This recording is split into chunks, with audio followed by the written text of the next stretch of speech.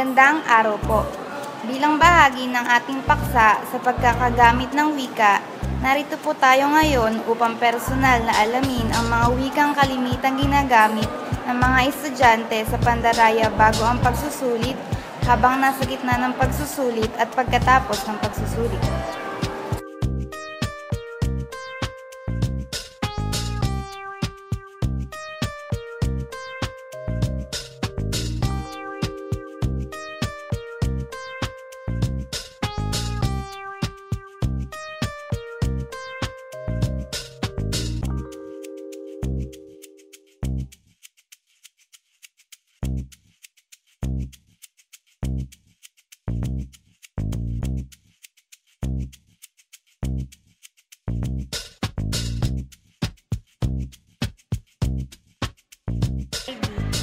Inilalagay ko sa likod ng ID ko ang isang maliit na papel na nakasulat ang halos buong libro at karamihan sa enumeration na pwedeng ibigay ng teacher ko.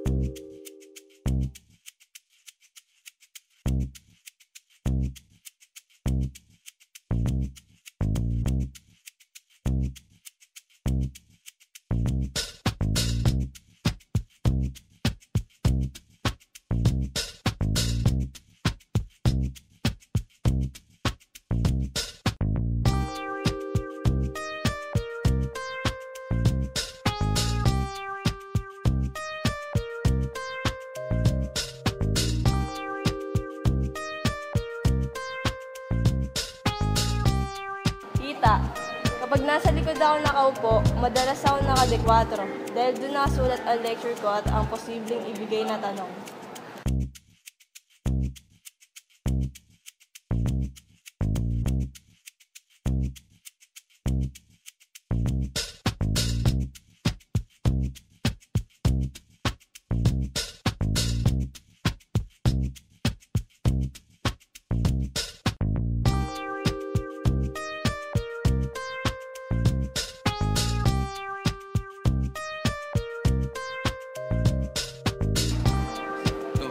Blackboard, kapag marami nakasulat sa board ay sinisingit lang ko ng mga acronym ng mga sagot lalo na sa enumeration.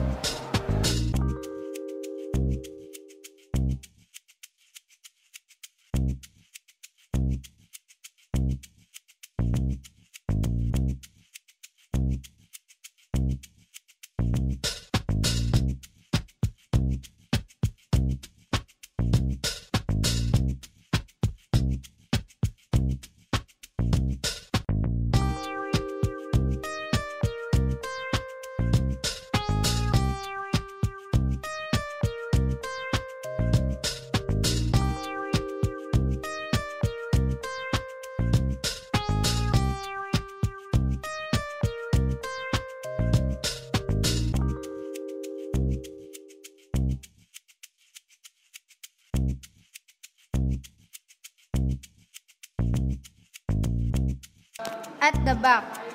Kaya at the back, ang tawag ko dito ay dahil sa lantarang sa likod ng test paper ko nilalagay ang kodigo ko.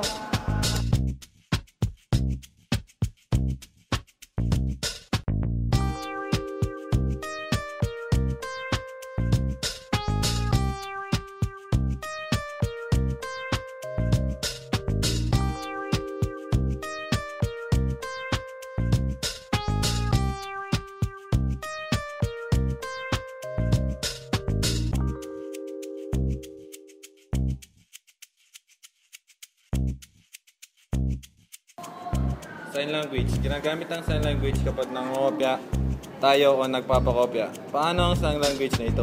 Ito ay ang paggamit ng pasimple ng daliri mula sa intuturo hanggang sa inliliit. Kapag intuturo ay A, kapag middle finger ay B, kapag ring finger ay C, kapag hinliliit naman ay D ang sagot. Pag naglilibot ng teacher at YPEG ang sign language na ito, ang bilang ng upo ang nagsisilbing senyasan namin ng mga kaklasiko.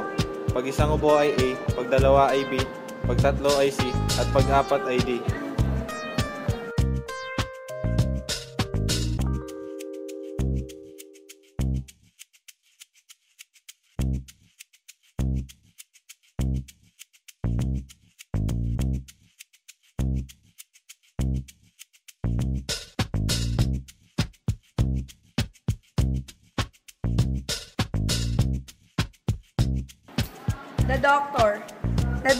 kasi nilalagyan ang mga blanco na walang sagot ng tamang sagot.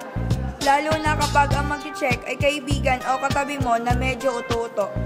Hindi niya lalagyan ng X ang mali mo, bagkus ay iiwanan niyang blanco at ikaw ang maglalagay ng tamang sagot kapag ibinalik niya sa iyo ang papel mo.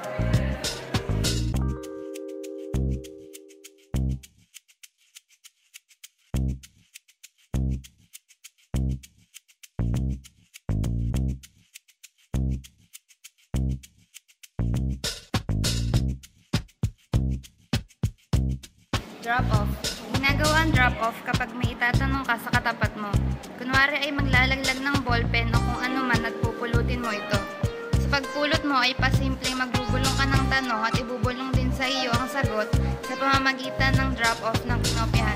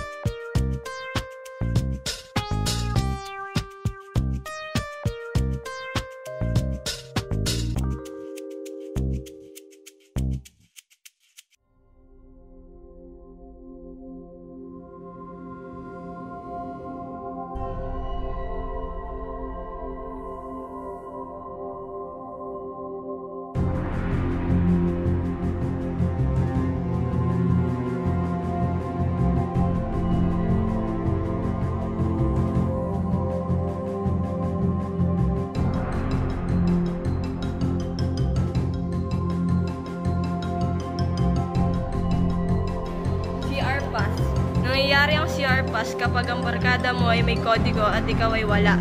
Meron na kayong isang lugar sa CR na pinag-uusapan kung saan ninyo kunin ang kodigo. Pagkatapos mag-CR ng kaklase mo ay ikaw naman ang susunod at kukunin mo ang kodigo.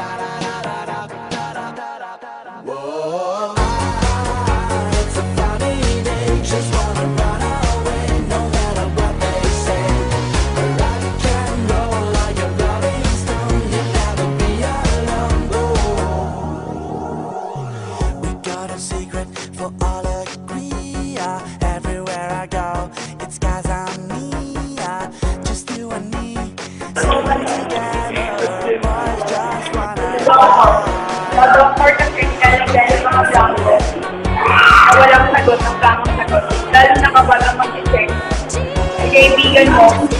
Ano. Kaibigan o katabi kasi kaabi na kalagay. Ayos eh. May video. Abi! The doctor.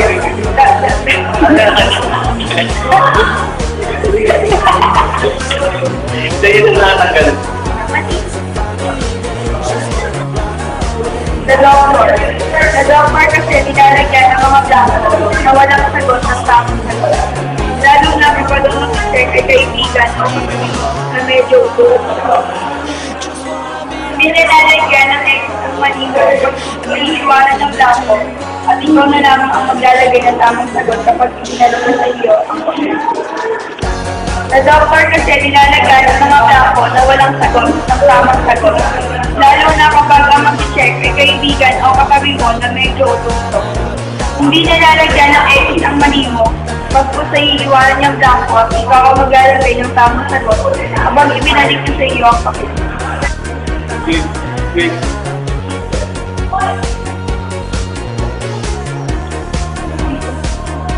Language, ginagamit ng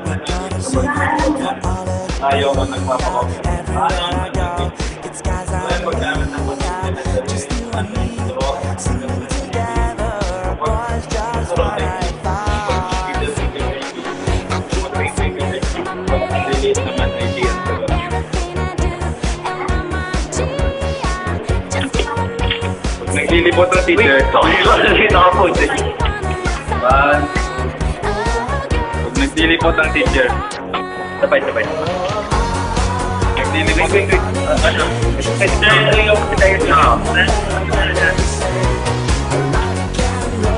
Naglilipot ang teacher at wifi ang sign language na ito.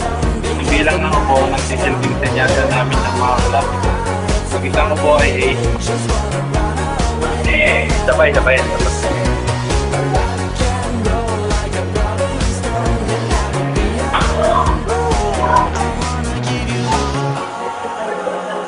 Ah,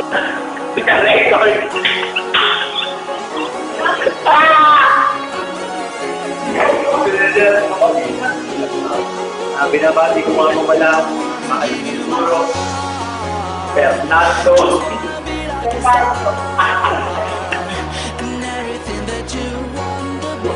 Mane, Regaño, ay, Si Arpa. Yung si Arpa.